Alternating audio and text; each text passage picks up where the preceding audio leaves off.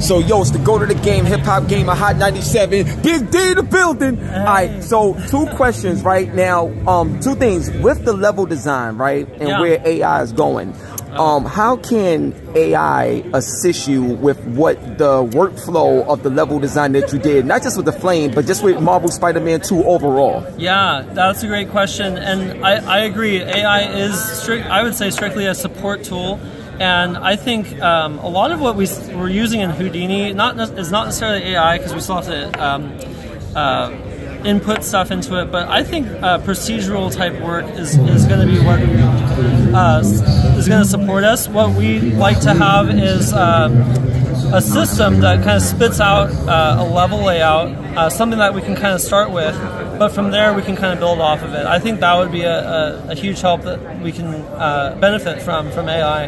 Is Got how, you. Yeah, that's amazing. That and, and the last question is, yeah. with your experience, you know, working with PlayStation Five and just technology. Period. I'm also a partner with AMD. You know oh, what I'm saying? So yeah. my question to you is, what would it take? to get a game like Marvel Spider-Man 2 running at like 4K 120 ray tracing, all that. What would it, t- based on your experience working with PS5, what would it take? What bump is needed to get it to that level? Because that's what the fans want. Yeah, I know. Um, and you know, Spider-Man 2 is going to eventually come to P- uh, PC. That that's the thing, and I feel like uh, consoles are probably you can only get so far with them. PS5 is, is pretty good uh, as it stands. Uh, I know that PS6 is coming eventually. I'd imagine. Uh, this is my speculation. um, but I, yeah, I would say anything.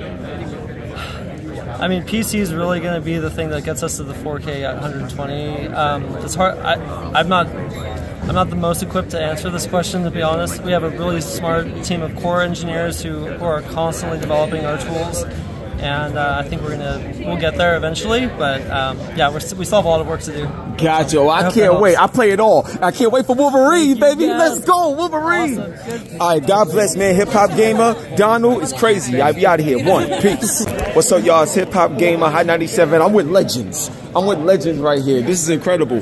real quick, can you state your name again? Jonathan Garrett. Right, yo, this is Jonathan Insomniac. So the other question that I had was, there's been, you know, um, rumors about uh, a PlayStation 5 Pro coming. So my question is, with the technology that y'all been able to target and find and figure out to make this game run great, is it possible for this game to run at 120 frames per second consistently with what y'all been able to develop um, on like a PlayStation 5 Pro, considering it's supposed to be more powerful? I'm not sure. We've not um, we're not in a position to talk about anything apart from PlayStation 5. Got it. Okay, no problem. And then the second question is um, the animations between Spider-Man and Venom and stuff like that. Did y'all run into any uh, issues considering the the difference in build and the difference in animation? How was y'all able to get Spider-Man and Venom to operate so differently when the symbiote was on them? I think they would just have custom animations, like different people animating for Venom and different people animating for the skeleton that was driving Spider-Man. So that the unique things animated independently. Oh, that's crazy! So based on the skeleton that was uh, drawn up for each character, it operates independently of each skeleton that's made. Yeah. Wow, yo, that's crazy. All right, yo, you heard it from him first. It's crazy. It's Hip Hop Gamer Hot 97. God bless you and thank you so much, man. Crazy. Yeah, yeah, what's up, man? It's the go to the game, hip hop gamer, hot 97 Logitech G AMD. And don't forget to get that pledge. And you see right now, Insomniac Games. You saw what just happened, you know what I mean? Just got back from GDC. There's so much more I'm gonna share with y'all, but I just wanted to add on a little bit to what you just saw in this video. You know what I'm saying? So, just to add a little bit is Wolverine AI upscaling technology is gonna be a game changer for real. Why? Because the level of detail you're gonna see in the game procedurally, in terms of actually the level design, when you see that, you're gonna lose your mind. Like everything you see on Wolverine you're gonna lose your mind. Now, I'm not sure if y'all just seen Marvel 1943 with Captain America and Black Panther. You know what I'm saying? And everything you saw there was real time running on that Unreal Engine 5. It's crazy. Shout out to Amy Hennig. You already know what it is. Just know that Wolverine, like I'll give you an example what I'm talking about when we talk about the AI upscaling that I'm referring to. So let's say you either take a picture, take a picture, or you go somewhere, you visit a place and you capturing all that data. Once that joint is in the engine, they can take that, upscale it, and make it truly look like what they want it to look like. But the crazy thing about it is they could take one area and then it naturally starts procedurally generating new areas at that same level of detail and fidelity at no cost to performance. It's about to be real crazy. Wolverine, something special. Special. Wait till you see the level of detail, dismemberment, all of that. Wolverine is different. It's different. Wait till you see it. It's crazy. Like they just wait. Just wait. Now, the next thing I want to tell y'all is and this is kind of a no-brainer, but I got some extra detail to it.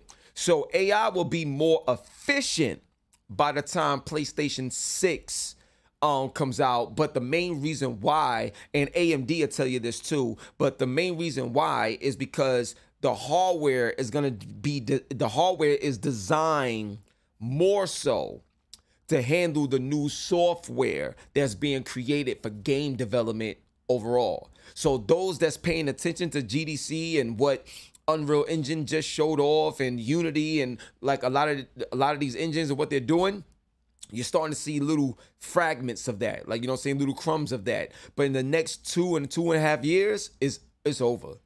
It's over. It's done because they're gonna be able to capture detail like so realistic in real time but they're gonna all it's gonna all be generated through AI. But when you have the hardware and the software married and connected together, then the performance of everything uh, cohesively is to uh, be the game changer that you're to see and now finally get a chance to experience and play. So that right there is crazy. Then the other thing I would say, and I just leave it at this. There's so much more I'm to tell y'all, but that's to be in other videos and stuff like that. But what I will tell you is that AI imported animations is things that you're going to have to pay attention to. Even Unreal Engine has sh has shown um, what this could look like and what this could be in terms of what they're building in Unreal Engine 5.4. But one thing I want to say is think about this. With NBA 2K, right? With NBA 2K, how you have ProPLAY, where they taking literally what you see on live TV and putting it in the game. That concept times that by a thousand like the stuff and the calculations that they're doing right now when it comes to animations, I want to put it to you like this, right? This is just an example. Imagine you watching a movie. Like it could be any movie, you know what I'm saying? Let's say you watching um, you know, uh, uh the Wolverine movie, X-Men, you know, TV show, whatever it is. You can literally take the animations from stuff that you watch, you know, Star Wars and all types of stuff. You can literally watch something, you're watching it. Take the data from the video that you're watching and use it and import it as in game animations.